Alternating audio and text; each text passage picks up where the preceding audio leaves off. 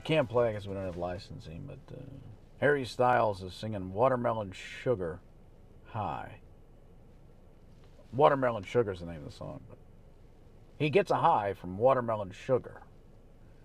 It is one of the more passionate songs you'll hear about, I think, one of America's, if not the world's favorite fruits watermelon.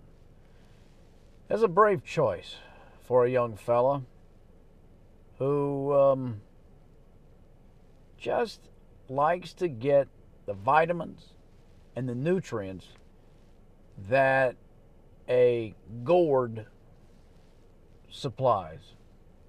And think about that. He sat down, put pen to paper, and thought, I'm going to write something that is so different. It's going to set the music industry on fire. And they said, What is it, Harry? Watermelon.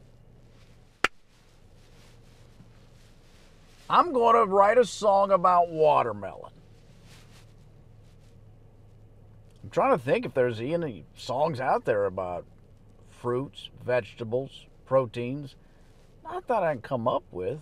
Purple People Eater, but watermelon sugar high. Tastes like strawberries, and he brings in another fruit. That's interesting because that throws you off. Tastes like strawberry on a summer evening. Now he connects you emotionally right there because that harkens back to a childhood. And that's what this is. This is a very child friendly song. I mean, look at the video.